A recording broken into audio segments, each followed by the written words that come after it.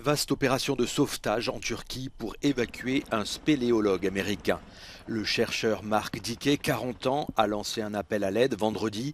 Il est soudainement tombé malade lors d'une expédition avec une poignée d'autres personnes dans la grotte de Morka. C'est l'une des cavités les plus profondes de Turquie, au sud du pays.